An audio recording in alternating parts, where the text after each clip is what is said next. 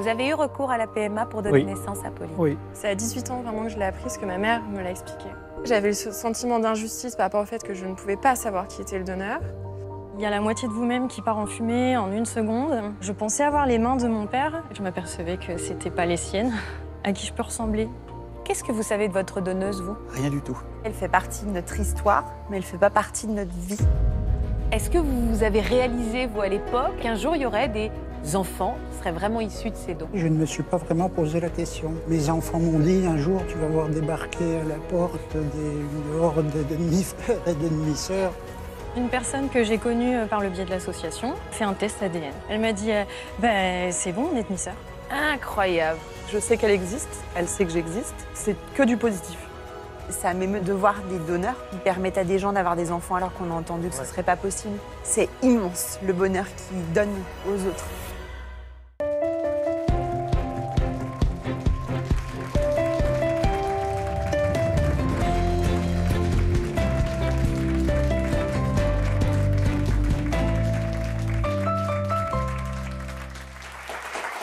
À tous. Les témoignages que vous allez entendre cet après-midi sont vraiment ancrés dans l'actualité. Mes invités ont découvert qu'elles étaient issues d'un don de sperme ou d'un don d'ovocytes. Elles ont donc hérité, vous l'avez compris, du patrimoine génétique d'un homme ou d'une femme qu'elles ne connaissent pas. Alors comment se construire Avec cette part d'inconnu, faut-il chercher à savoir qui est son donneur? Comment en parler avec ses enfants? Faut-il lever l'anonymat du donneur, comme c'est le cas dans de nombreux pays? On va tenter d'y voir plus clair tous ensemble, notamment grâce au témoignage d'un donneur qui, lui, a choisi de sortir de l'anonymat et qui est prêt à ouvrir sa porte aux enfants nés grâce à lui. C'est une émission passionnante qui vous attend et je voudrais tout de suite féliciter mes invités de prendre la parole ouvertement, sans tabou et honnêtement. Bonjour Pauline.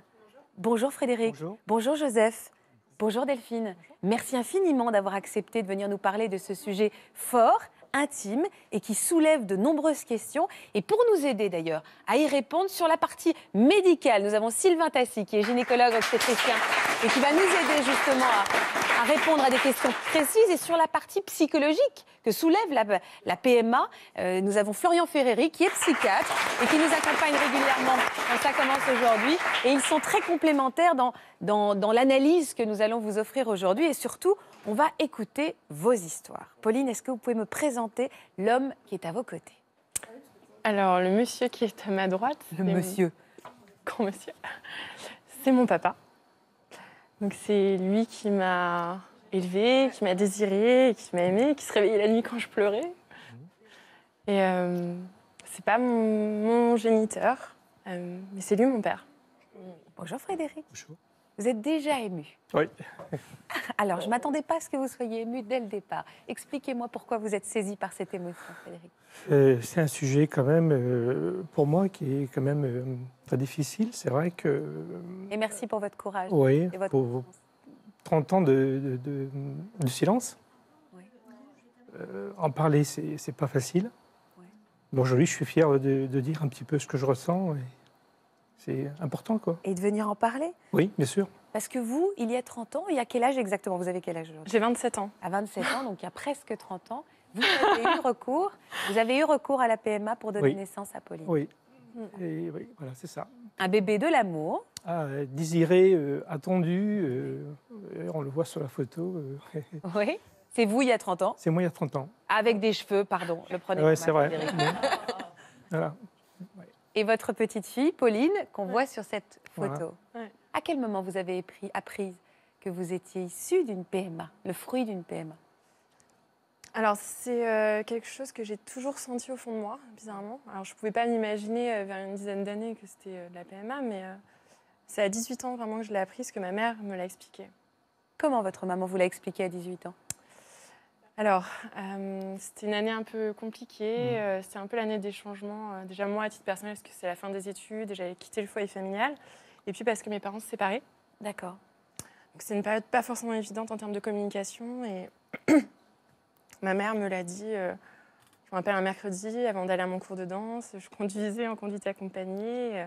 et il y avait eu, je sais pas, un, petit accro entre mes parents. Je sais Un plus petit clash, ouais. Ouais, je sais plus exactement. Et, et c'est à cette occasion, euh, bon, elle a eu euh, une phrase vraiment maladroite et elle a manqué de tact et je lui en veux pas aujourd'hui. Mais voilà, elle m'a dit, au fait, il faut que je te dise, euh, ton père, c'est pas ton père.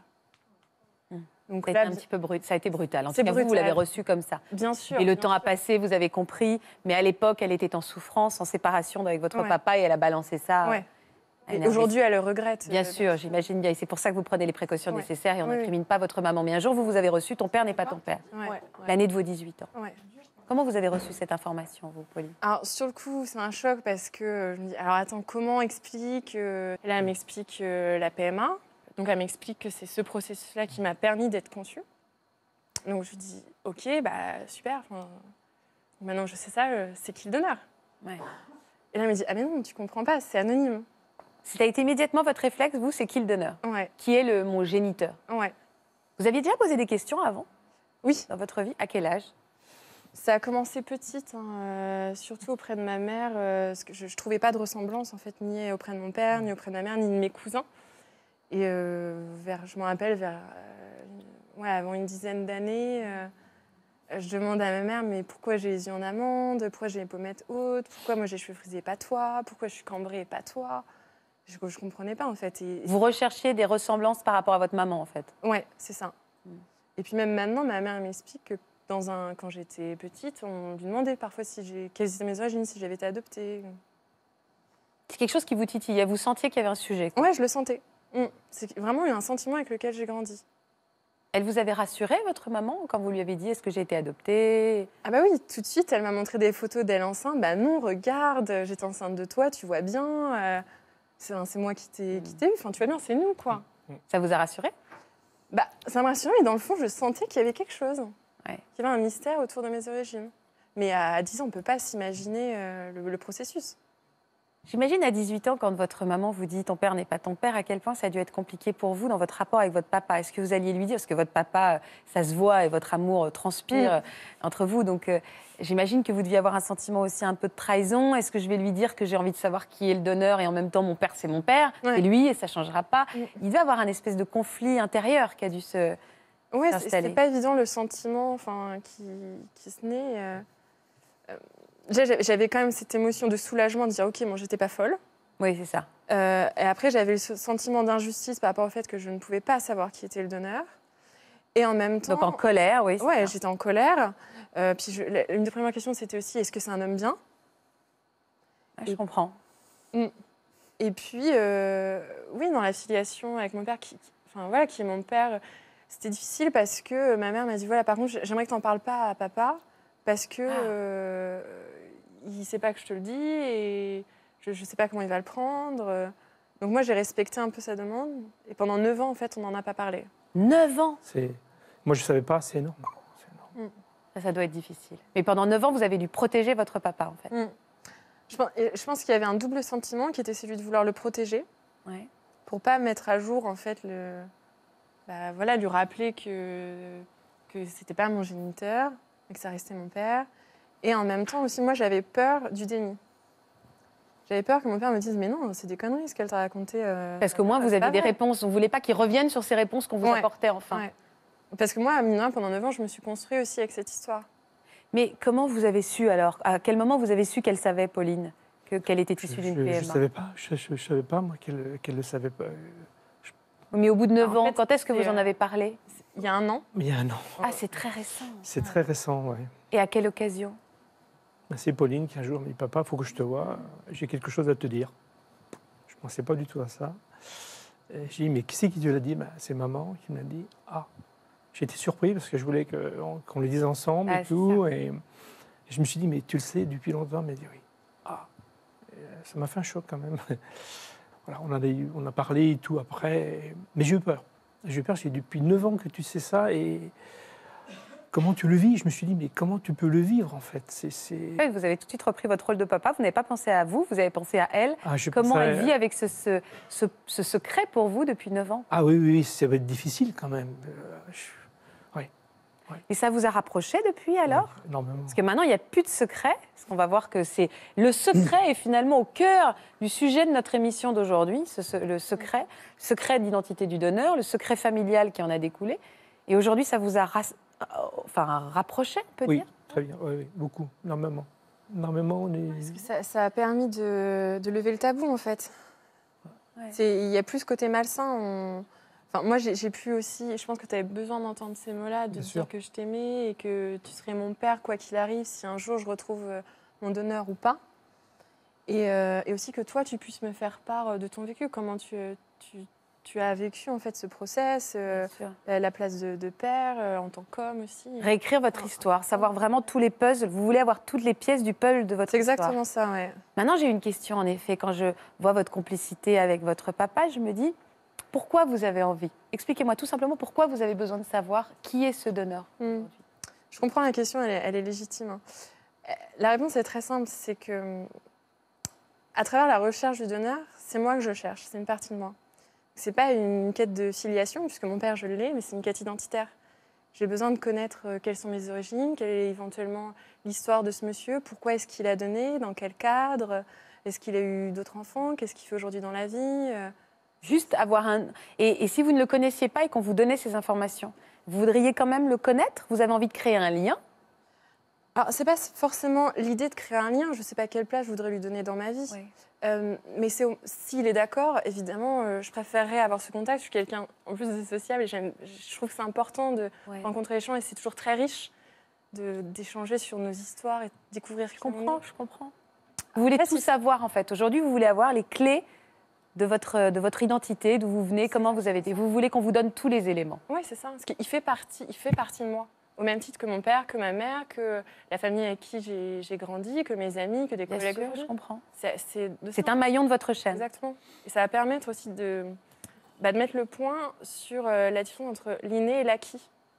Je C'est aujourd'hui- qu'on n'a pas. Et j'ai une question aussi à vous poser. Si vous n'aviez pas eu ce secret très lourd à porter pour vous aussi, parce que vous avez senti qu'il y avait quelque chose qui n'était voilà, qui n'était pas euh, euh, juste euh, mon papa et ma maman, qu'il y avait quelque chose qui vous pensiez que vous étiez adopté, vous avez senti qu'il y avait un secret, on vous a donné l'information, vous l'avez gardé 10 ans.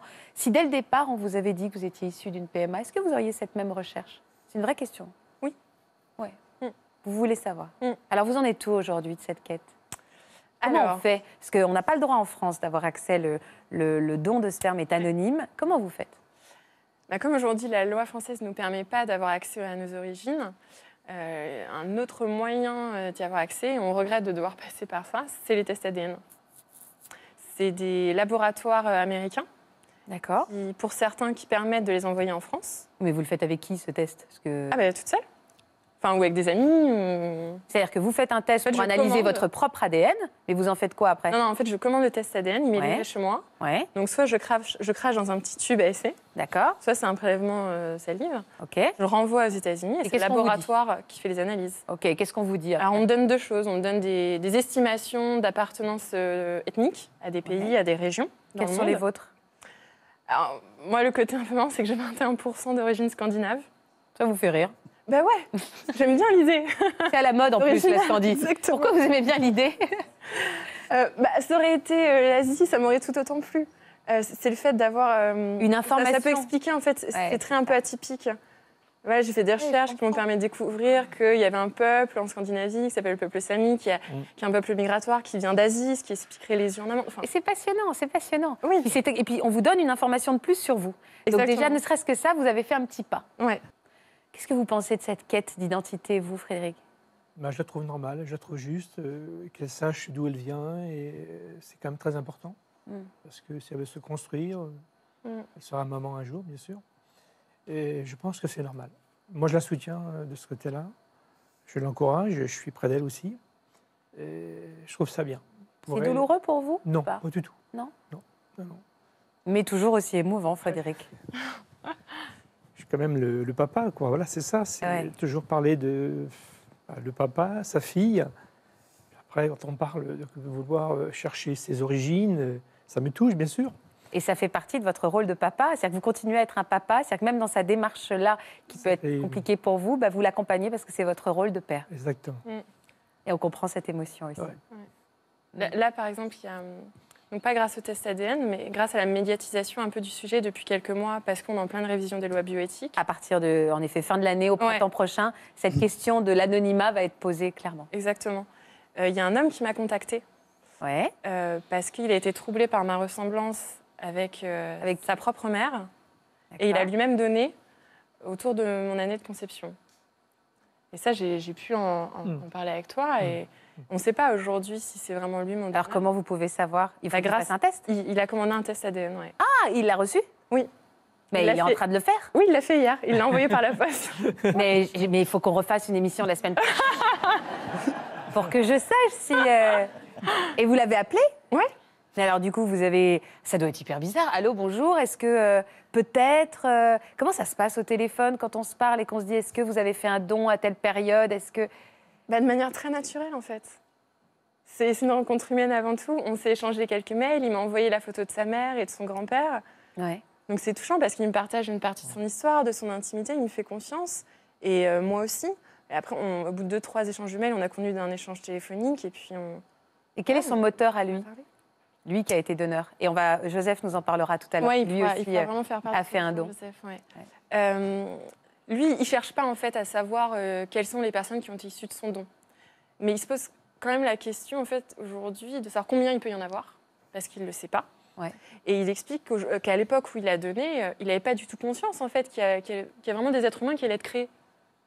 Finalement, il n'avait pas conscientisé ça. Ouais, et clair. surtout les impacts que ça avait pour nous aujourd'hui, c'est-à-dire d'avoir besoin de savoir d'où on vient.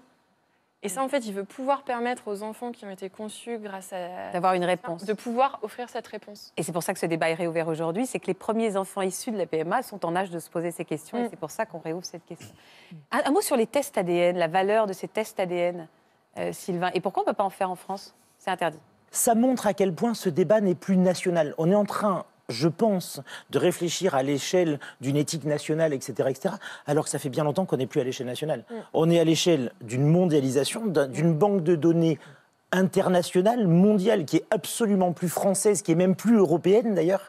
Et on envoie nos tests à l'étranger. Donc ces tests, ils sont très simples. On va se servir de cellules qu'on va analyser et on va faire une étude de certains chromosomes bien particuliers qui vont permettre de faire matcher. Est-ce que tu partages des chromosomes avec telle personne. Pourquoi on n'a pas une banque de- de- d'ADN comme ça, nous, en France? Alors, on n'a pas de banque, euh, on a une, des recherches ADN potentielles, euh, c'est-à-dire un juge, car c'est sur la, sur la validation d'un juge qu'on va pouvoir avoir ça. On ne peut pas le faire spontanément. Pour quelle raison et pourquoi c'est le cas Parce que la loi française dit que pour faire une recherche génétique de paternité en particulier, il faut qu'il y ait un juge. juge. Est-ce que c'est fiable? Est-ce que ces tests qu'on commande aux États-Unis sont fiables? Alors, c'est fiable sur une recherche génétique de match, c'est-à-dire euh, tu es potentiellement génétiquement identique à telle personne. Euh, ils ne s'engageront jamais à 100% sur une parentalité, par exemple. Ils vont vous dire, il y a effectivement énormément de gènes en commun qui disent que c'est très probable. Ils vont s'engager à 97, je ne sais pas ce que vous avez comme Et réponse. après, il faudra faire d'autres recherches. Exactement. J'ai une question, Florian. Est-ce que la façon dont on apprend qu'on est issu d'une PMA joue un rôle dans le rapport qu'on va avoir avec son donneur. C'est-à-dire qu'en effet, ça- euh, Pauline l'a appris de façon assez maladroite. Est-ce que ça a pu conditionner son envie de, de- de- voilà, de connaître toutes les pièces de son puzzle? Alors Faustine, c'est très vrai que c'est euh, vraiment l'émission sur le secret, la façon dont on annonce les choses, la façon de l'apprendre, et on dit des fois crever l'abcès. L'idée, c'est de tout faire en sorte pour que ce ne soit pas un abcès, c'est-à-dire de réussir à en parler avant, de, de trouver les conditions nécessaires pour aborder le sujet, pour pas que ça soit quelque chose qui, que, pour pas que l'annonce soit traumatisante. Et effectivement, euh, plus il y a de l'attente, plus l'annonce est maladroite, plus il y a un risque qu'il y ait de l'hostilité, voire de l'agressivité envers euh, soit le, le- le père, soit le, euh, le parent euh, biologique en quelque sorte. Si on crée les conditions pour apporter des, des éléments de réponse au moment où les enfants se la posent, par exemple quand ils posent la question euh, d'où je viens, comment on fait les bébés, Mm. ils n'ont pas tellement envie de savoir euh, comment ça se passe euh, concrètement. Ils ont envie d'en connaître un peu plus sur leur origine, euh, pourquoi les parents sont les parents, pourquoi on est dans ce, dans ce cadre familial. Et si à ce moment-là, on évite de créer une mythologie autour de ce qui s'est passé, mais plutôt du concret, on a de fortes chances que ça se passe beaucoup mieux Hmm. et que les- le questionnement par rapport à la génétique soit quelque chose, euh, une un autre type de recherche euh, plus neutre, on va dire, moins chargé en émotions. Alors, Pauline, vous nous disiez tout à l'heure, euh, j'ai envie de savoir euh, de- euh, le donneur, ce qu'il a pu avoir dans la tête, pour quelles raisons il a fait ça, quelles sont ses motivations. Et puis aussi, est-ce qu'il s'est rendu compte qu'il allait vraiment avoir des êtres humains issus de ce don Joseph, j'ai envie de vous poser la question et merci de votre confiance. C'est très rare qu'il y ait des hommes qui viennent euh, témoigner sur ce plateau, sur ce sujet. Euh, Est-ce que vous avez réalisé, vous, à l'époque, altruiste, pensant à des couples euh, en difficulté, qu'un jour, il y aurait des enfants qui seraient vraiment issus de ces dons? J'y ai pensé, bien entendu, comme toute, toute ma famille qui a toujours été au courant. Ouais. Mais on en, on en riait, on dit, mes, mes enfants m'ont dit un jour tu vas voir débarquer à la porte des, une horde de, Ouais. de demi-frères et de C'était demi-sœurs. Bon, abstrait, quoi. C'était plutôt. Ouais. on ne se posait pas trop la question, puisqu'à cette époque, les avancées de, de la science en, en matière de génétique étaient moins, moins poussées. Et pendant, je vais dire, une, une vingtaine d'années, je ne me suis pas vraiment posé la question. Comment vous êtes devenu donneur? Pour- Pourquoi vous êtes devenu donneur, vous il y, un- il y a, Dans les années 80 J'ai trois enfants Oui. et bientôt sept petits-enfants. Vous les aviez déjà eus? Oui, tout à fait. Et c'est à la naissance de la, la petite dernière, Annabelle, en 1984, que dans les locaux de la maternité de Nancy où Annabelle est née, euh, nous avons rencontré, mon épouse et moi, enfin mon ex-épouse, euh, un ami d'enfance de, de madame, euh, qui, est- qui était patron du SECOS de Nancy. Et nous Le SECOS, le centre d'études et de conservation, d'études et de des, conservation des ovocytes et du sperme. Voilà. C'est là-bas que se font les dons et qu'on recueille également. Ce qu'on appelle vulgairement la banque du sperme, Voilà. euh, voilà, régionale pour la, pour la Lorraine. D'accord. Donc, euh, il nous a dit, vous avez une magnifique petite fille, mais vous savez, dans, mon métier, euh, nous sommes confrontés à des, problèmes de, stérilité des couples. Et tous ceux qui, après des mois, des années d'échecs, euh, se tournent vers le, corps médical pour, euh, vaincre la stérilité, ils ont ensuite deux ans d'attente pour bénéficier d'un don de sperme. Ce qui nous a semblé quand même assez touchant. Donc notre démarche, mon, ex-épouse et moi, euh, sur sollicitation du, médecin, a été de dire notre couple va faire don à d'autres couples de la possibilité d'avoir un enfant. Et l'image que j'aime bien, c'est celle de l'étincelle qui faisait défaut dans la, dans la conception. Euh, si j'ai pu apporter une étincelle de vie euh, à ces couples qui voulaient fonder une famille, je faisais vraiment Oui. tout naturellement, de bon cœur et, et On sans était dans une questions, démarche hein. généreuse. Je, je vous interroge, Joseph, qui peut faire Tout le monde peut faire des dons d'ovocytes Quels sont les critères qu'il faut remplir ou des dons de sperme ou d'ovocytes Alors les critères, c'est d'être en bonne santé, de ne pas avoir de maladies génétiques graves, de ne pas avoir de gros problèmes de santé. Euh, pour les hommes, il faut être majeur, bien sûr, pour les femmes aussi. Les deux doivent être majeurs. On limite, si ma mémoire est bonne, à 45 ans pour les hommes actuellement en France et à 36 ans révolus pour les femmes. D'accord, pour faire des dons d'ovocytes. À quel moment donc les choses se sont passées? Vous avez fait combien de dons Alors, cinq dons en l'espace de quelques mois en 1984 et peut-être 85, je ne sais plus exactement. Et j'ai Comme vous donniez, en fait, pour vous, c'est comme si vous aviez donné du sang, quoi. C'est-à-dire que vous aidiez votre prochain. Oui. C'est absolument pas rémunéré, c'est un nom qui est parfait. Et c'est aussi pour ça que la question de l'anonymat est soulevée, parce que si euh, les dons de sperme n'étaient plus anonymes, il y en aurait peut-être encore moins. Et donc c'est aussi une question euh, qui va être soulevée par ce débat, parce qu'on recherche toujours des donneurs de sperme. ça soulève deux problèmes. Ça soulève d'une part le fait qu'effectivement, euh, on, on est en train de discuter sur la possibilité, alors soit l'anonymat, soit le fait de laisser une trace, que le, que le donneur laisse une trace, une lettre, hein, comme on fait des fois dans les adoptions, qui est une, une trace que, que les euh, futurs adultes et les enfants à naître vont essayer de rechercher. L'autre problématique, il y a deux autres problématiques à, ce, à cette éventuelle levée de l'anonymat qui n'est pas encore actée. Euh, D'une part, peut-être une diminution du nombre de dons parce que ça peut faire peur Ah à oui, certaines personnes. D'autre part, une possible diminution engageant, du nombre d'annonces aux futurs adultes. Ah oui. Si il n'y a pas l'anonymat, est-ce qu'il y aura autant de parents éduquant un enfant qui a été issu d'un don de sperme ou d'ovocyte qui vont l'annoncer. Ou est-ce que ça risque de diminuer? Ce sont des questions, on n'a pas la réponse. Mais est-ce que ça pourrait diminuer le nombre de parents qui vont le dire? Est-ce qu'on sélectionne le sperme qu'on va donner à des couples en fonction de certains Ouais, a des- critères? y a- Je savais que pour les mamans, euh, les ovocytes ont choisi, mais est-ce que pour le sperme, c'est la même manière? On fait en sorte que les papas puissent faire les papas, que le géniteur ressemble au futur papa euh, ça fait, on fait Dans la mesure du possible, on va essayer de, de trier des critères physiques qui sont supposés être ressemblants, dans la mesure du possible, parce que la problématique étant qu'on manque un petit peu de donneurs, moins il y a de donneurs, moins il y a de, futurs euh, euh, géniteurs potentiels, et moins on peut trier, donc euh, c'est un petit peu difficile. Mais oui.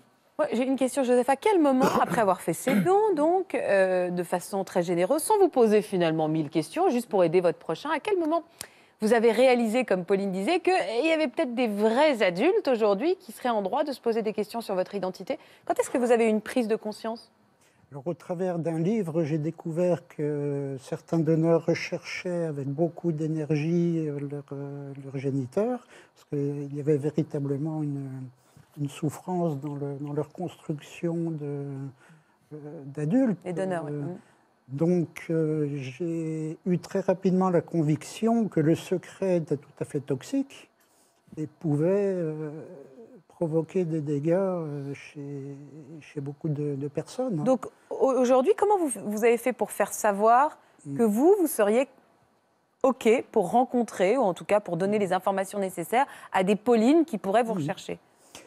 Donc j'ai adhéré à une association qui, qui milite pour, euh, pour le- la levée de la- comment dire, la levée de l'anonymat. Oui, d'accord. On peut appeler l'anonymat réversible. hein. Ouais, si- Si je peux juste faire Ouais. une précision, Ouais. et d'ailleurs ça, ça me permet de rebondir par rapport à ce que vous disiez, euh, c'est pas la levée de l'anonymat, c'est vraiment un accès, c'est un droit d'accès aux origines. Oui, C'est-à-dire qu'on ne veut pas en fait que euh, euh, le donneur au moment du don euh, soit connu. Il faut qu'il reste anonyme. Il ne faut pas que les parents puissent choisir le donneur. Mais par contre, ce qu'on souhaite, c'est vraiment que euh, à l'âge de 18 ans, la personne qui a été conçue grâce à ce don puisse se présenter à une structure ad hoc où il y aurait un registre du don au niveau national pour savoir qui est le donneur. Oui, mais est-ce que savoir qui, Mhm. ça vous suffirait sans le rencontrer? Si on vous disait c'est cette personne, voilà son dossier médical, voilà son profil, est-ce que ça vous suffirait, Pauline? Alors, ça dépend des personnes, en fait. Et on, ça, ça c'est propre à chacun de choisir. Et d'ailleurs, il y a des personnes qui ne veulent pas savoir qui est le donneur. Donc, c'est vraiment un droit et ce n'est pas une obligation. Oui, j'entends. importe. Vous, vous êtes fixé quoi comme limite aujourd'hui, Joseph? C'est-à-dire qu'aujourd'hui, vous vous dites, si, voilà, s'il y a des personnes qui souhaitent me rencontrer, est-ce que vous accepteriez de les rencontrer même? Au-delà des fait. informations, de les rencontrer et de Tout créer un fait. lien? Vous seriez capable? À créer un lien, non, je ne pense pas que ce soit souhaitable pour les, pour les familles, pour le- pour l'équilibre du, du- de la famille de- du jeune adulte, tout comme ma famille. hein. Il n'est pas question de- d'être intrusif, de, il faut que tout le monde respecte tout le monde. Euh, il y a quand même euh, plusieurs acteurs dans, dans la démarche. Euh, il y a bien entendu la- les parents. euh, le, le donneur et l'enfant.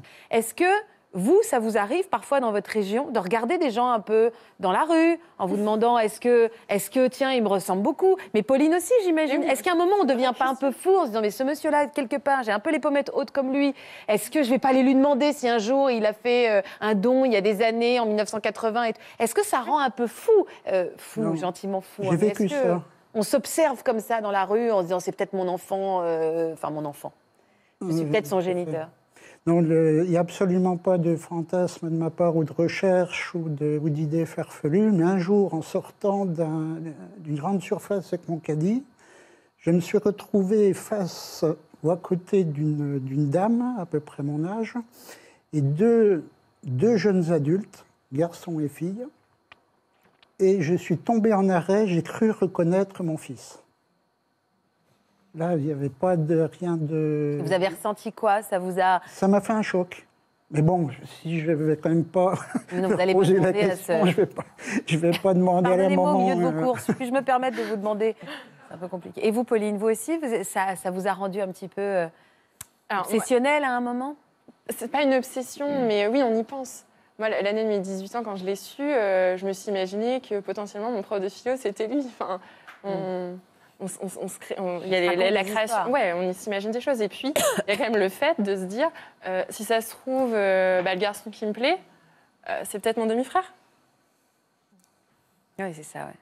Ça, je comprends. Donc, ça vous a freiné dans vos relations? En disant, bon, on Ça ne m'a jamais, mais il y a freiné, une mais- chance pour que j'ai une relation Bien sûr, y a, y a avec un membre de ma famille parce qu'il y avait des contacts. Oui, ça peut. Ouais. On imagine en effet tout ce que ça peut engendrer comme question, Florian. Ah oui, cette, euh, cette quête, euh, cette recherche un petit peu de, de qui on est, de ce qui nous constitue, euh, fait poser plein de questions. Alors, Mm. d'une obsession quotidienne à trouver dans la rue quelqu'un qui nous ressemble, là, au risque de rencontrer quelqu'un de notre famille et d'être en couple avec lui. Alors, le risque, Mm. il est quand même assez limité Ah, par le brassage génétique et puis par le nombre d'enfants qui sont créé à partir d'un don. hein. Maintenant, ça a été quand même limité. On parlait du nombre de, de, de spermatozoïdes, mais là, un, un donneur, euh, je crois que la limite, c'est 10 enfants.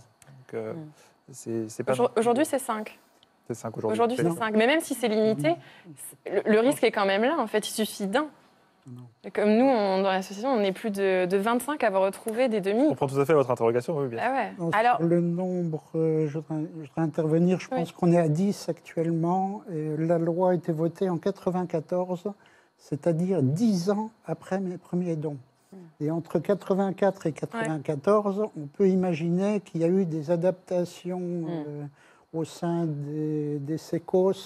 On se demande comment ça a été géré. Je voudrais qu'on écoute le témoignage de, de Delphine maintenant, qui depuis tout à l'heure, en effet, doit aussi, il doit se passer beaucoup de choses dans votre tête et dans votre cœur. Vous, vos parents également ont eu recours à un don de sperme pour pouvoir fonder euh, votre famille. Je voudrais qu'on on revienne sur, ces, sur votre enfance à travers ces quelques images et après on, on parle de ce parcours plein de rebondissements. En 1983, la petite Delphine voit le jour. Une naissance très attendue qui comble de joie ses parents. Sept ans plus tard, un petit frère vient agrandir la famille pour le plus grand bonheur de la jeune fille.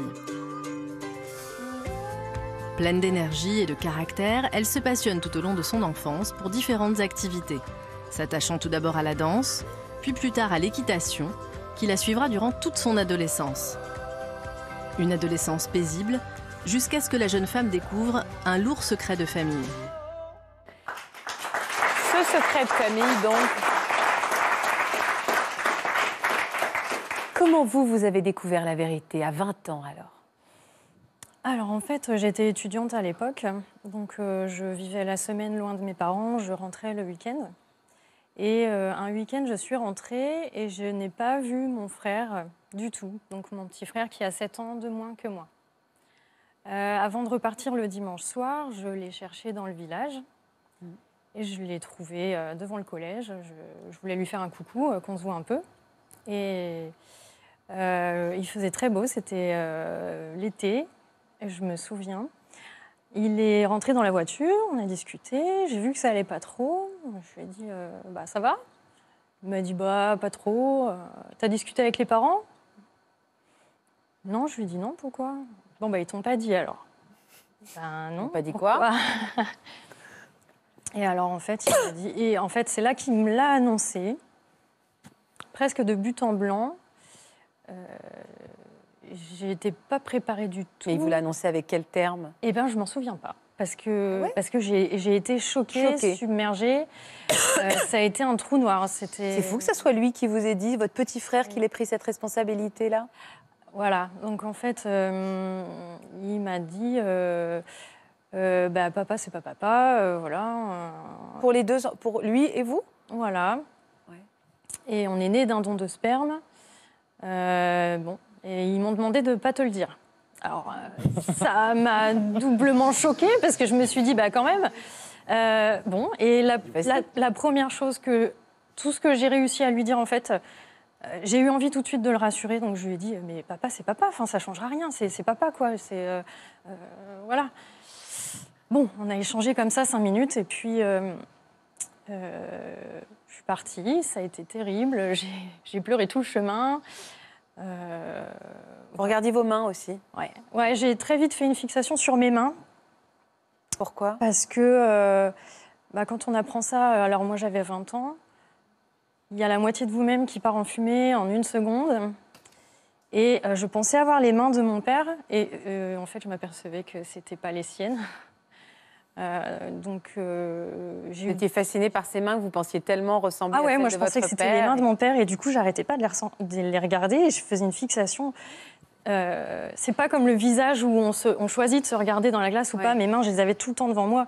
Et, et- et ça, ça m'a obsédée assez rapidement. Je comprends. J'ai eu une avalanche de questions, de colère euh, qui m'ont envahie et qui m'ont. Vous avez réussi à pas aller voir vos parents Comme votre petit frère vous l'avait demandé? Ben, je pense que tout de suite, je me suis mise dans la configuration du secret.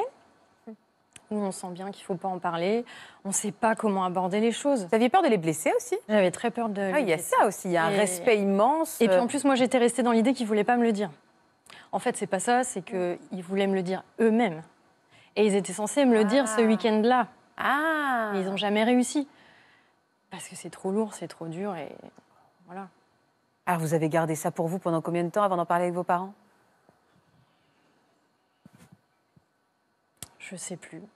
Euh, le déroulement des choses est assez flou. Oui, en je fait. comprends. Mais des semaines, des mois, des années? Hum, Peut-être quelques semaines. Quelques semaines? Quelques semaines. Et puis un jour, ma mère a abordé le sujet. Elle avait, de manière, elle était décidée à vous en parler. C'est juste qu'il fallait qu'elle soit prête. Ouais. En fait, ils avaient décidé de ne pas nous en parler parce que mon père, surtout, euh, souhaitait pas le faire. Ma mère, oui, mais elle voulait être en- rester euh, respectueuse de la vie de mon père.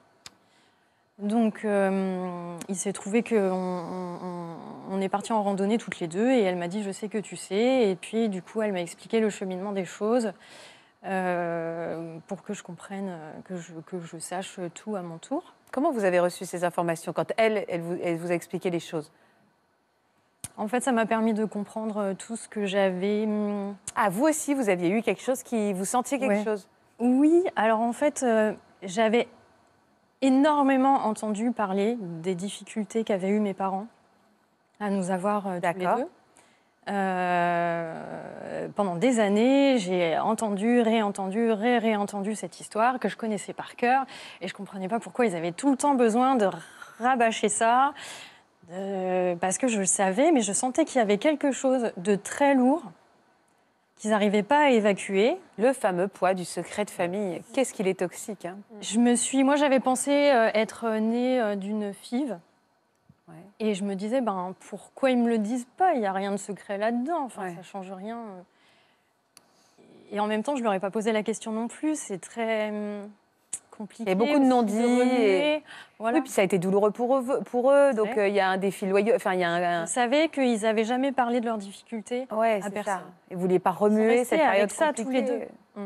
Mais vous, est-ce que vous avez éprouvé Oui, Florian? Non, non, mais c'est vrai que c'est, on voit bien que le, le- le secret, ça éloigne, ça vous a éloigné à un moment donné de vos parents, et puis après, le mensonge, bah, ça enferme. Quoi. Chacun reste Oui. sur ses positions avec la crainte euh, permanente que quelqu'un dévoile ce qui, euh, ce qui, Oui. nous, ce qui nous a. ce qui- c'est- cette, euh, ce fait qui paraît terrible alors qu'il ne l'est en fait pas. C'est vraiment la PMA, c'est quand même une chance. hein, bien sûr. pour avoir vu beaucoup de couples qui étaient en difficulté pour avoir des enfants, avoir cette opportunité Mm. et, offrir, euh, et, et offrir ça, euh, et offrir tout l'amour qu'ils ont à donner aux, aux enfants à naître, c'est quelque chose de très précieux, mais euh, le secret est extrêmement délétère. hein. C'est difficile. Et alors, j'ai une question. À quel moment, vous, vous avez. Est-ce que tout de suite, ça vous a titillé de pareil Est-ce que, comme Pauline, vous avez commencé à regarder des ressemblances euh, dans la rue Est-ce que tout de suite, vous avez dit, je veux savoir qui est cette personne Ou c'est venu après? Euh, ça n'a pas pris forme clairement tout de suite. Euh, J'ai eu surtout en moi-même euh, vraiment l'impression de- de- d'avoir perdu la moitié de moi-même et d'avoir un vide, euh, pff, déstabilisé quoi, complètement. J'ai eu beaucoup de colère ensuite envers mes parents d'avoir voulu me le cacher. Et petit à petit, de plus en plus de questions. Et puis, de- petit à petit, à commencer à me dire, bah oui, en fait, dans la rue, à qui je ressemble, à qui je peux ressembler, euh, comment il peut être mon donneur. Et, euh, et alors, les, les- les- les ressemblances avec des demi-frères, demi-sœurs, euh, ça a été, euh, je ne vais pas dire quotidien, mais très, très, très présent. Et c'est vrai que, enfin, Parce que l'avenir va vous donner raison. voilà, il y a parfois, eu- il y a eu des fois où j'étais tellement persuadée, alors je disais, hé, hé, hé, tu trouves pas qu'on se ressemble là? Dis-le-moi vite, vite, parce que faut- je, vais- je vais aller la voir. quoi. Vous avez pu faire peur à des gens dans la rue, j'imagine. hein Non, mais voilà, c'est pas possible d'aller aborder quelqu'un. Ben non, c'est ça. Sauf que, alors, l'histoire de, de Delphine est un peu folle. Parce que vous avez adhéré à une association, vous aussi, de la même manière. Et là, un rebondissement incroyable dans votre vie. Vous pouvez nous raconter? Euh, alors, je me suis rapprochée de l'association il y a à peu près trois ans. On a eu quelques échanges. Mais après, j'ai fait mon chemin tranquillement. Ça prend du temps. euh. Et puis, euh, j'ai été invitée à une réunion. J'ai fait connaissance avec plein de gens avec qui je pouvais parler librement, qui étaient capables d'entendre ce que je disais. Et, on se comprenait en retour. Et ça m'a énormément apaisée dans toutes mes colères. Et puis j'ai eu euh, connaissance du fait qu'on pouvait, euh, parce qu'en fait euh, faire des recherches, chercher son donneur c'est bien, mais on fait comment, on s'y prend comment, on sait Ah ouais, que euh, à l'avance tout est enfermé et tout est bouclé et que on nous dit tu sauras rien. Et là, par le biais de, de- de cette association, j'ai appris qu'on pouvait Test ADN faire des tests ADN. aux États-Unis. Voilà. Donc, Donc, test ADN. Je- voilà, j'ai décidé d'en faire. Euh, et puis, euh, j'ai eu euh, des premiers résultats. Vous êtes d'origine d'où, vous? Europe, Irlande, Angleterre. D'accord. et un petit peu Nord-Afrique et Moyen-Orient. D'accord. Ok. Et puis, euh, et puis après, c'est un jeu de la patience. Voilà, c'est est-ce qu'on alors, avoir on a un match? patience, c'est-à-dire qu'on attend qu'on vous appelle un jour pour vous dire qu'il y a eu match? On attend de voir sur le site qu'il y a deux nouveaux matchs et après de voir à quel degré. Comment ça? C'est un site internet? On a chacun, oui, notre, euh, notre espace personnel. en Donc fait. vous avez votre espace personnel. Ouais. Et votre espace personnel, on vous dit donc euh, vous avez euh, votre profil et on vous dit s'il y a des matchs. Voilà. Et Ils sont classés en fait par ordre de, de proximité. Quoi. Ah d'accord, donc on peut vous donner 10 noms en vous disant le premier a priori c'est celui qui se Voilà. rapproche le plus. J'ai 963 matchs par exemple. Mais attendez, ça veut dire quoi Qu'il y a 963 personnes, vous avez de l'ADN commun. Voilà. Et alors à partir de quand on se dit ça peut être un demi Il faut, faut qu'il y ait un, pourcentage de matchs? Il y a la question du pourcentage, il y a la question de la longueur, du nombre de segments partagés, de chromosomes, euh, la longueur des segments, etc. Après, il y a des estimations. euh, Et à chaque nouveauté, on reçoit un email.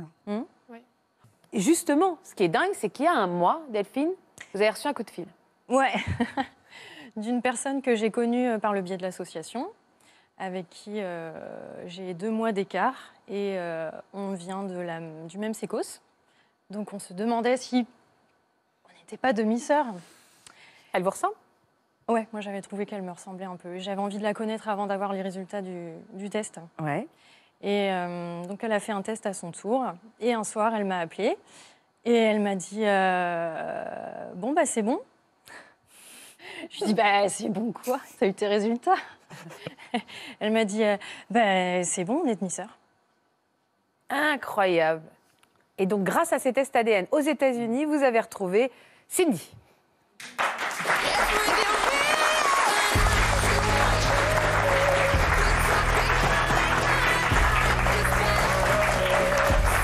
Bonjour Cindy.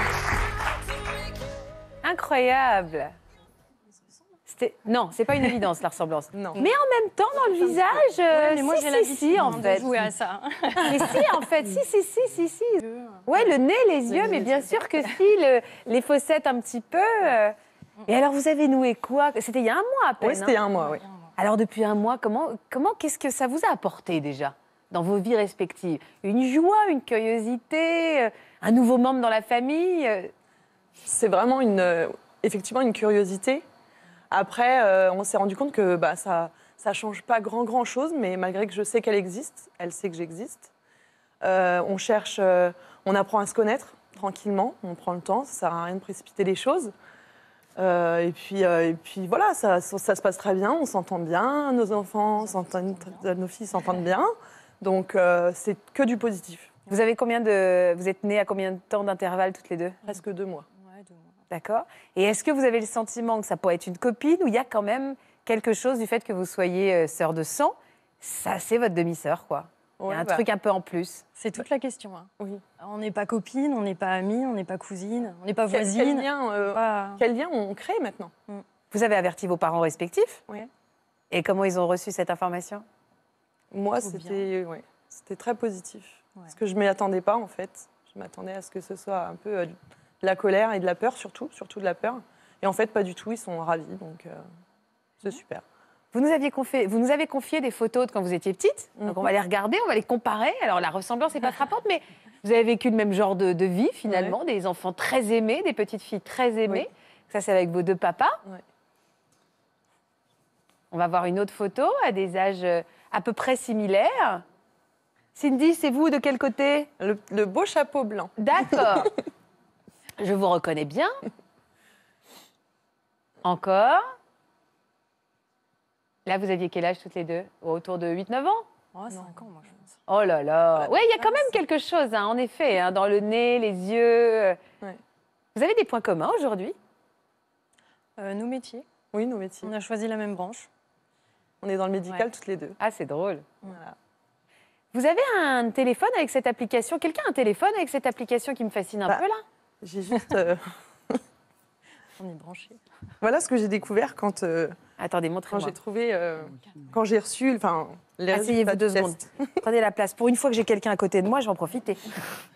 Venez là. Alors, donc là, il y a écrit en fait- ADN apparenté. Voilà. 900... Donc vous avez reçu quoi? Ah ouais. Alors, à- alors oh, comment on pourrait décrire ça? Alors à gauche, il y, a les pré- il y a les noms des gens. Oui. Et à droite, il y a un petit point qui veut dire, euh, bah là, il y a écrit euh, Delphine, demi-sœur. Demi-sœur. Voilà, c'est exactement. C'est-à-dire que vous avez reçu un jour ça avec écrit le prénom demi-sœur? J'étais avec euh, une. J'étais au travail et ma, ma collègue me dit euh, Mais au fait, tu as des résultats de ton, peut-être ton test? Ah, mais non. Tiens, on va regarder. Et je regarde et je cherche et je cherche. Et là, euh, demi-sœur. C'est qu'en fait, il y a le- alors, en fait, alors je vous explique, il y a des prénoms sur la gauche avec des photos, il y a différents prénoms, des prénoms étrangers, il y a d'autres prénoms où il y a écrit en dessous que cette personne serait peut-être de troisième à cinquième cousin, Voilà. et en effet, en haut de la liste, il y a le nom de votre sœur avec écrit en dessous demi-sœur. Voilà. C'est quand même étrange d'apprendre ça sur, un, sur, un- une application, rece- juste un jour vous allez voir, puis paf, il y a écrit demi-sœur. quoi. Vous avez fait une photo Une photo de. Non, une photo, une, ben, ça doit faire un choc quand même, une capture d'écran. Bah, on ne sait pas trop ce qu'on doit faire en fait à ce moment-là. Bah vous, vous êtes resté comme ça, ce que Je suis restée comme ça et je me suis dit, waouh Et déjà, je me suis dit, c'est qui en fait Parce que déjà, il n'y avait pas sa photo à ce moment-là. Je me suis dit, mais c'est qui cette fille? Donc j'étais sur Facebook, j'ai cherché et ah, mais c'est elle Bah oui, bah c'est elle en fait. Pourquoi je, je- En fait, j'ai même pas réalisé sur le moment que bah, c'était Delphine. Quoi. C'était Delphine. Et euh, j'ai eu mon conjoint par téléphone, je lui ai dit, j'ai eu mon- mes résultats de test. Et alors, bah, Delphine, c'est ma demi. Et ben, qu'est-ce qu'elle en pense? Bah, je sais pas, je, je l'ai- Bah, appelle-la. Il est 22h. Ouais, en fait, je pense qu'il pourrait être 3h du matin, je pourrais l'appeler aussi. Quoi. Ouais, je pense que c'est. Et euh, On dit pas demi-sœur, on dit ma demi? Ouais, un bah, demi- demi- Ah oui, c'est comme ça, c'est un truc ouais, entre vous, d'accord. Je me demandais si j'étais passée à côté d'une génération où on disait plus ma demi-sœur, on dit ma demi.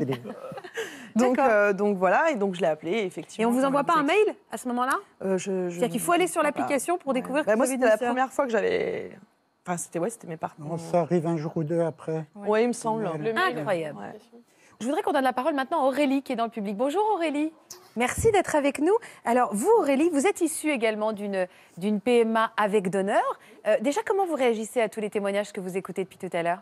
Bah, c'est assez déstabilisant parce que je me retrouve beaucoup dans les réactions euh, des personnes euh, lorsqu'elles ont appris euh, qu'elles étaient conçues par don, puisque moi je l'ai su, j'avais 22 ans, donc je Ouais. l'ai su euh, très tard aussi. D'accord. Euh, Sauf que vous, bah, moi, je ressens pas le besoin de, de- d'avoir des connaissances sur mon donneur, en fait. La seule chose qui m'intéresserait, c'est de connaître mes antécédents médicaux. Surtout que j'ai le projet d'avoir un enfant et que je suis née, enfin, j'avais une malformation cardiaque à la naissance. d'accord. Donc du coup, euh, forcément, voilà, je me questionne beaucoup sur euh, qu'est-ce que je peux transmettre à mon enfant en termes surtout de pathologie, Ça, je en fait. Mais vous n'avez pas envie de savoir qui c'est, vous avez juste envie d'avoir son antécédent. C'est-à-dire que si on vous donnait un dossier médical sans prénom même, sans nom, ça vous irait? Ah bah oui.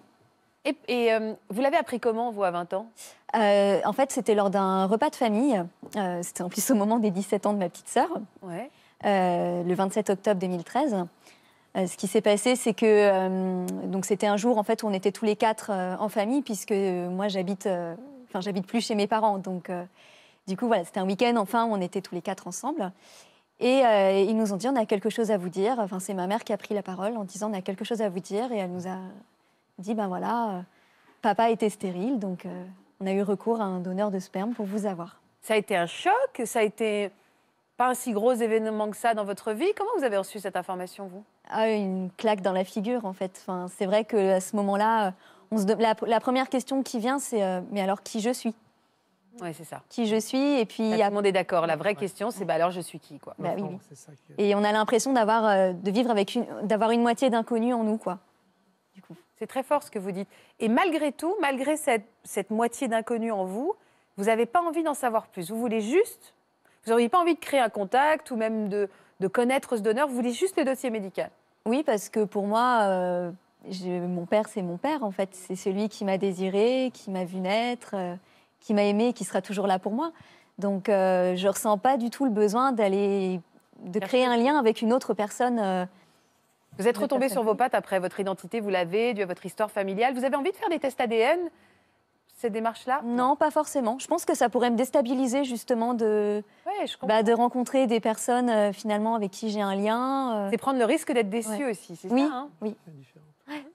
c'est fort ce que vous dites aussi, Florian. On prend le risque d'être déçu également quand on cherche. Bah, la quête, c'est effectivement, ça peut être un moteur sur certains aspects de sa vie, mais effectivement, euh, quand, on, quand on découvre quelque chose, on peut être euh, surpris. Alors, euh, sur les motivations du donneur, sur euh, qui il est, si on a plus d'informations. Euh, et puis, euh, de façon euh, un peu plus complexe au niveau psychologique, ça peut déstabiliser dans le sens où si on a des difficultés actuellement et qu'on les a attribuées au fait que c'est parce qu'on ne connaît pas son géniteur et qu'en fait, finalement, ces difficultés auraient, auraient pu exister sans cette problématique-là, euh, ce qui organisait un petit peu nos éventuelles difficultés ben, euh, s'effondre parce qu'on s'aperçoit que ce n'est pas le fait de le retrouver qui va régler les problèmes qu'on peut éventuellement éprouver. Je ne parle pas pour les personnes qui sont là, je parle de personnes qui sont euh, Mm. éventuellement en grande difficulté. Donc ça, ça pose vraiment la question, c'est qu'une fois qu'on l'a trouvé, finalement, on a trouvé quoi? Et on fait quoi de ces Et on fait quoi de ce qu'on a trouvé? Ça, c'est Ouais. extrêmement délicat. Je voudrais maintenant qu'on accueille Marie et Franck qui vous écoutent très attentivement depuis le début de la mission et vous allez comprendre pourquoi.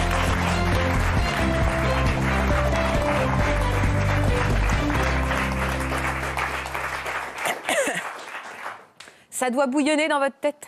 oh là là là là. Bienvenue parmi nous. Alors, dans quel sens ça bouillonne tous les deux? Parce qu'en fait, vous, vous êtes les heureux parents d'un petit Noé qui a 8 mois et qui est né suite à un don d'ovocytes. Oui. Donc, vous êtes dans toute cette problématique, mais il y a 20 ans. Enfin, enfin, il y a 20 ans pour vous, il y a 30 ans pour vous. Vous vous posez cette question. Voilà votre adorable petit Noé et cette magnifique photo de famille pleine de joie. Est-ce que, déjà, qu'est-ce que vous ressentez depuis tout à l'heure? Qu'est-ce que, Est-ce que ça vous. Ça, ça, ça, ça vient rajouter à vos convictions qu'il faut le dire très vite à votre fils? Qu'est- Qu'est-ce, que, qu'est-ce qui vous remue depuis tout à l'heure dans tout ce que vous avez entendu? La question, c'est euh, comment on va lui parler, comment on va lui, lui expliquer, en fait, euh, que ben, génétiquement, il n'est pas de maman, enfin, même si c'est sa maman. Euh, c'est ça, c'est... On va essayer de le faire le plus naturellement possible, le plus tôt possible. On va pas, on va pas attendre, à partir du moment où il sera en âge de, de comprendre, on lui expliquera. Oui. Parce qu'on a aussi le projet d'en avoir un deuxième, hein, on peut. Euh, donc voilà, il faudra déjà faire ce premier pas et euh, lui expliquer euh, bah, tout simplement. euh, Ils sauront. ils sauront de On toute façon. C'est. Il n'y en a ouais. jamais eu sur tout le parcours qu'on tout le parcours qu'on a connu et il n'y en aura pas demain. Il n'y en, aura il y en a jamais eu, c'est-à-dire, vous avez prévu de lui raconter tout ce par quoi vous êtes passé Parce que ça a été un long combat pour avoir votre Oui. fils. Ça a duré combien de temps Sept ans. Sept ans. Ouais. Et vous avez tout euh, emmagasiné pour leur expliquer ces sept ans, euh, cette, on va dire cette grossesse de sept ans Mhm. On lui a écrit. Ah bon On Mais tient un depuis- petit carnet, ouais, un petit carnet un petit livret dans lequel on note un peu euh. Ah, ça, bah, son histoire, quoi. Pour lui expliquer tout. Voilà ce carnet Et il est noté tout depuis les premières fois où vous avez essayé Vous avez eu recours à la PMA On n'a pas écrit tout de suite parce qu'on était loin d'imaginer qu'on qu'un jour ça marcherait. Et euh, quand ça a commencé à devenir vraiment compliqué, hein, j'ai eu deux fives. Quand la première five, euh, on a, pas, on a été, euh, il y a eu le traitement et ça a avorté à la fin du traitement. Euh, du coup, là, on a dit, voilà, il faut qu'on écrive, même pour nous, pour que ce soit un exutoire. Et, et au final, c'est devenu son carnet, parce que c'est normal qu'il sache comment on l'a eu et pourquoi on est passé par là. Vous en avez déjà parlé tous les deux? Est-ce que quelqu'un avait peut-être soulevé l'idée que vous lui diriez bien plus tard, parce qu'il n'avait pas besoin de savoir dans sa construction Non, parce que je pense que c'est une décision qui nous appartient. Après, euh, tout le monde a été au courant tout de suite. Euh, on n'a on n'a rien, absolument rien caché à personne de, notre, enfin, de nos entourages. Et, euh, et je sais pas, pour nous, ça nous paraissait normal, quoi. De... de On dire est une famille, en fait, on est une équipe et on n'a rien à se cacher, en fait. Voilà. On veut évoluer avec, avec sans, sans, sans tabou, sans, sans rien, sans secret. Voilà. On veut se construire au travers de, de- de toute, l'expérience qu'on a vécue, ces sept ans de combat, euh, qui sont loin aujourd'hui maintenant. On y pense beaucoup moins, mais et voilà, on, voilà, ce- on veut avancer euh, Ouais. sans, Sereinement sans- et sans voilà, sans secret. fermer de porte. Frédéric, vous êtes sensible à ce discours. Depuis tout à l'heure, je vois que vous êtes touché, hein, pas Marie-France. C'est bien, là, ce qu'ils ont fait. Ils ont fait un livre et tout. Après, ils pourront le, le dire à leur, à leur enfant. Et moi, je trouve ça beau, que moi, je n'ai pas fait. Moi, nous, on a, on a tout gardé, en fait. On a tout gardé pour nous, le- tout le secret. Et après, quand il faut tout sortir, euh, toutes ces années, c'est là que c'est difficile, c'est là que c'est compliqué, en Vous fait. êtes en train de me dire que si c'était à refaire, vous feriez différemment? Oui, tout à fait. Et c'est pour ça que vous êtes pétri de culpabilité, là, je le sens, hein, Frédéric, c'est ça Un petit peu, oui, parce que pff, garder tellement de, tellement de choses, tellement de secrets, et puis euh, c'est un peu dommage. On, on se fait mal en plus. Et puis après, on fait mal aussi à, à ses proches aussi. Florian. Oui, alors c'est vrai que c'est- émouvant, les, les choses ont, ont un petit peu changé. Le, le- le corps médical, les psychologues n'encourageaient pas forcément à le dire. Vous donc, avez euh, raison, il faut se a- pardonner a- ça, Frédéric. il y a- Il faut, se ra- faut remettre dans le contexte euh, de moment. Mmh. Et Mmh. quand même, il y a euh, des fois, même avec beaucoup d'amour, avec beaucoup de pragmatisme, ben, on, on est, on est maladroit, on est, euh, on est malveillant par défaut, voire traumatisant. Et euh, le fait de le reconnaître à présent, c'est aussi une étape pour euh, moins culpabiliser et, et moins souffrir pour la suite. hein. Ça, c'est important. Tout le monde sait dans votre famille, vous Oui. Vous avez Dès le été au départ. courant tout le monde Dès le Mm. départ, euh, dès qu'on a commencé à faire les premiers tests euh, médicaux, on, a- on en a parlé tout de suite. Après, on a un soutien familial qui est, qui est magique. Je pense que si on en est là tous les deux et tous les trois, Ouais, c'est aussi grâce à une famille derrière qui nous, qui nous a portés. Que vous, ça n'a pas été le cas. Il y- en a qui ne savaient pas. Vos parents ne savaient pas? Non. Et ils, ont, et ils sont morts aujourd'hui, vos parents? Oui, euh, euh, j'ai pas voulu le dire, euh, je l'ai gardé pour moi, c'est un peu dommage, j'aurais dû en parler, j'ai voulu garder le secret, à l'époque on ne parlait pas de ça, c'était un peu sujet tabou. Ouais, il y a plein de strates dans ce secret. On s'est hein. dit, euh, ouais mais personne ne connaît, Bien on sûr. risque de blesser les C'est pour ça qu'il autres. faut se pardonner aussi. Encore une fois, c'était une autre époque. Aujourd'hui, on, on en parle très régulièrement de la PMA. C'est plus du tout un sujet tabou. Ça c'est énormément À l'époque, vulgarisé. exactement. Ça c'est énormément vulgarisé. C'est-à-dire que fermé, hein. vous étiez dans une époque où on était au tout début, c'était un milieu médical extrêmement restreint, qu'il n'y avait pas de loi d'ailleurs, vous avez dit ça, il n'y avait aucune loi, il n'y avait aucun, il y avait aucun cadre dans ce truc-là. Et actuellement c'est complètement accepté, notre société accepte, on peut en parler sur un plateau, etc. Et ça, c'est pas le cas. Est-ce que vous vous êtes posé, vous, la question de savoir euh, si euh, votre petit garçon allait vous ressembler? Les questions sait que nos invités se sont tous posées, mais vous, en portant ce bébé? Oui. Parce que vous l'avez porté, vous lui avez donné une grande partie de vous. Hein Et le test euh, a viré positif la prise de sang et ça devient la plus belle journée de notre vie, comme tout le monde. Sauf qu'on l'a vécu différemment et qu'il y a une saveur beaucoup, beaucoup plus particulière. Ouais. Euh, oui, on se pose la question. Pendant neuf mois, on, on se demande est-ce qu'on va se reconnaître en lui? Est-ce que euh, ça va être euh, de notre famille vraiment, même si on l'a porté et qu'on sait. Je me suis toujours dit, en fait, je serai maman si j'accouche de mon enfant. Un bébé différemment, je, me serais, je sais au fond de moi que je ne me serais pas sentie euh, sa maman comme aujourd'hui. Mais et en fait, le jour où il naît, de- je n'ai pas, eu le temps de le voir arriver sur mon ventre. Elle m'a dit on y va encore trois fois et il était arrivé sur mon ventre, donc j'ai pas eu le temps de Ouais. calculer euh, quoi que ce soit. Et quand elle l'a posé, je l'ai regardé et, euh, et puis bah là on, on oublie tout. On oublie tout ce qu'on a vécu. On oublie les questions qu'on se posait, les jours qui C'est quoi arrivent les après. questions que vous posiez? Parce qu'il a, est-ce qu'il aurait pas, comme il a pas ce patrimoine génétique qui est le vôtre, et en même temps, euh, et on va en parler avec Florian, il a quand même, euh, il a quand même euh, une partie euh, de, la- de votre, euh, enfin, il a grandi en vous, donc il a de vous aussi. Il n'a pas la génétique. Il n'a pas la génétique, il a le mais Florian, oui, c'est ça, c'est de l'épigénétique, c'est-à-dire que C'est de l'épigénétique. On, on- on est en train de se rendre compte que euh, toute l'élaboration scientifique de la génétique qui a été faite jusqu'à il y a une quinzaine d'années, faite jusqu'à une quinzaine d'années, est un petit peu modifiée. En portant un enfant, vous allez quand même lui transmettre certaines, certains de vos gènes. Et vous lui transmettez quand même une partie de vous-même. Bah, Et toute la partie de euh, l'acquis, où on va vous parler de vos mains, euh, il y a quand même toute une mimique de l'enfant par rapport à ses parents qui fait qu'on existe aussi dans la ressemblance euh, génétique, certes, mais dans les mouvements, dans les mimiques, dans le sourire, etc. etc. Ça, on l'apprend au, contact de ses parents. Moi, je sais que quand, euh, quand les gens l'ont su, tout le monde me disait Mais c'est incroyable, tu ressembles à ton père. J'ai toujours dit Tu ressemblais à ton père. Bah non. mais l'environnement dans lequel on, on évolue Oui. modifie la génétique. Oui, il y a ça Ce aussi. qui est très intéressant. Et les gens qui disent ça, et ils ont raison. L'environnement a un poids énorme, c'est-à-dire ce qu'on offre pendant la, la grossesse et puis l'environnement qui est, qui est offert à l'enfant après euh, apporte beaucoup, beaucoup, beaucoup. La, la- la biologie est une chose, mais ça ne fait pas l'individu. Qu'est-ce que vous savez de votre donneuse, vous? Rien du tout. Son âge. Oui, son âge. Voilà. Qui a fait qu'il y a eu un test nécessaire pendant la grossesse en complément, mais c'est tout. Et vous auriez envie d'en savoir plus? Ça vous suffit. Ouais. Elle fait, c'est ce qu'on dit, elle fait partie de notre histoire, mais elle fait pas partie de notre vie. C'est, Et dans le petit carnet, comment vous l'appelez? On l'appelle On l'appelle pas. Il La y a seule chose. quelqu'un qui, C'est à quelqu'un qui vous a aidé. voilà, c'est une petite fée dans le parcours, mais c'est tout. C'est tout. Ah. Et comment vous, vous avez déjà pensé au mot que vous allez utiliser? La petite fée? Ça sera imagé parce qu'on image beaucoup les choses avec Mm. lui. On lui parle déjà beaucoup aujourd'hui, même s'il est bébé, depuis qu'il est né, depuis son, sa première heure.